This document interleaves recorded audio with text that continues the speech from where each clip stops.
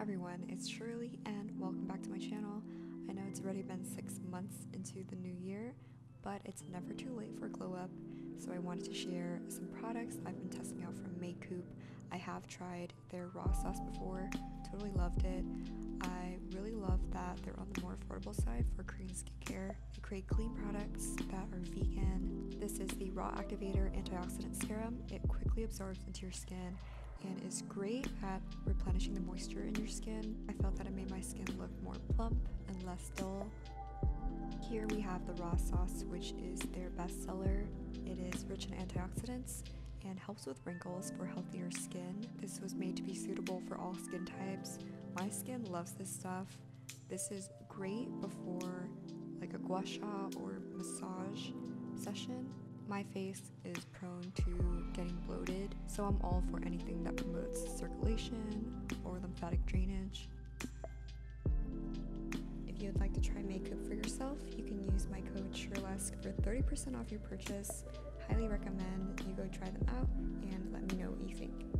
So I got a new matcha whisk since my old one was getting worn out. Like look at this. Honestly did not take the best care of it. This time I also got a stand for it so it'll help keep the shape of the bristles. I got this one from Amazon. I'll link it down below. So this one comes with a whisk stand. Wow, that's bigger than I thought.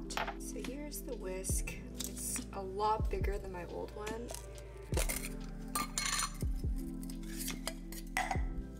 These bristles feel a lot softer the whisk around the stand and it'll hold its shape.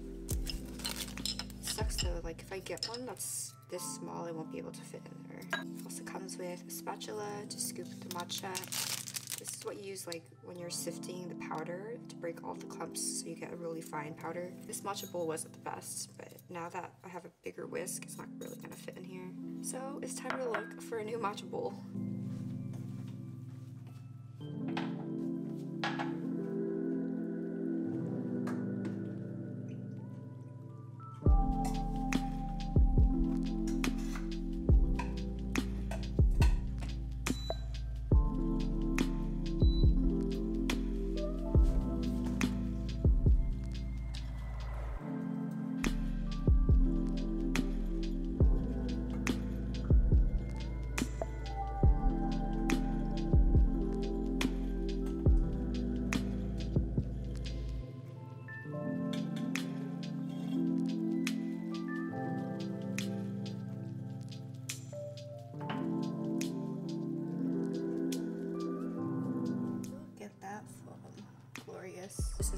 Vegan. There's tofu, cauliflower, and rice. And of course I have a matcha latte. I don't usually have oat milk on hand. I usually have like normal dairy milk. But once we ran out, I went out and got oat milk and it makes such a difference in like taste. I really like like the consistency of the froth. It reminds me of like when you make oatmeal and the milk at the upend. I really love that. My room is a mess just like my state of mind. I myself am embarrassed of being a messy person, especially when I'm vlogging. I'm really embarrassed to show you all how messy my room is. So I try to vlog in more of like the cleaner places in my room or like not vlog in my room. But it's just a part of my reality and I can fix it, clean up after myself. So I just have a bunch of clothes on this chair, a bunch of laundry. I have like stuff I need to return, gifts I still need to wrap. So I'm gonna go ahead and do that.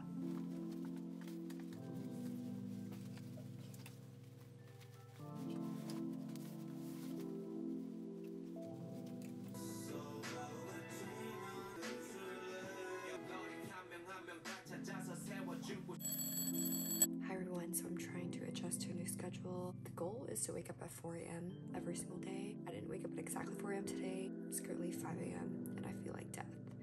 I know it's only the first day, but it feels like I should be asleep. Kind of feels like I'm staying up like all nightering, I know my body's still getting used to it. Um, yeah, so I'm gonna brew some coffee and pack my lunch. One of my 2023 resolutions is to take it slow, have a consistent morning routine because I really value like time to myself, especially in the mornings to just wind down before getting the day started. Usually my mornings are very hectic. I'm like in a rush just to get out the door, barely have time to like eat or drink water, and that's just not a good way to start the day. So, I'm trying to fix my sleep schedule so that I can have more time in the morning. Good morning, everyone. So, it is time for coffee. I actually brewed extra coffee yesterday just to save some time.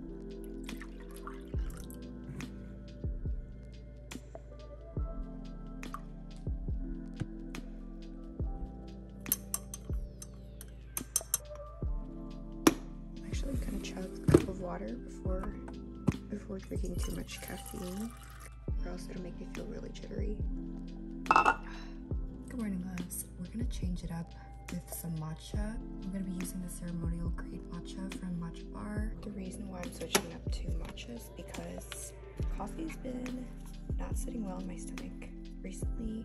I think like it's a little too acidic for my stomach. I'm just gonna switch to tea and matcha for now since it's lighter on the stomach but still gives me caffeine.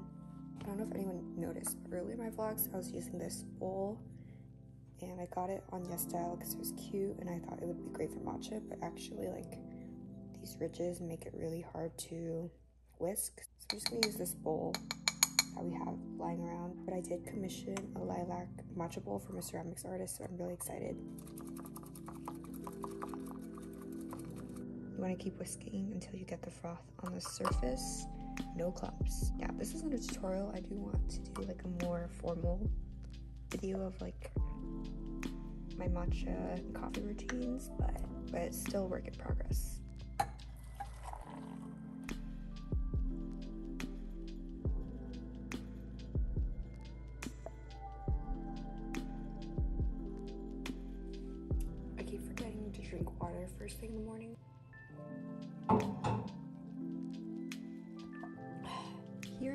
Testing out some skincare products from YesStyle. Lately I've been getting like dry patches on my skin so it's been nice to just throw it on and have like instant hydration.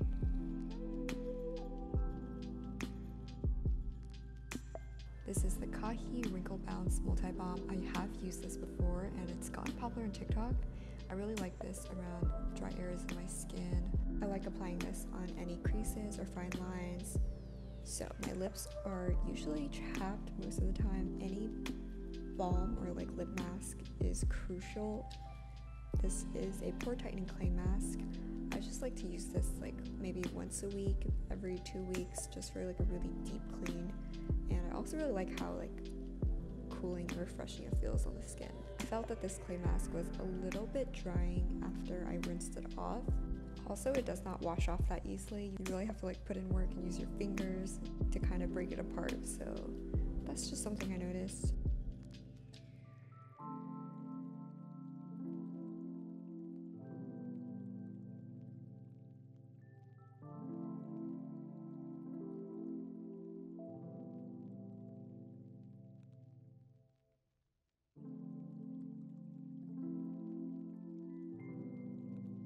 Here I'm trying the Vita C Dark Spot Serum Mask. I believe this is to like brighten your skin and get rid of any blemishes or dark spots. I haven't used this mask consistently enough to say it gets rid of dark spots, but it does make my skin feel very hydrated and plump. So that was just the start of my 2023 glow up. Let me know what your resolutions are. What are you trying to work towards? I will see you all in the next video. Thanks for watching.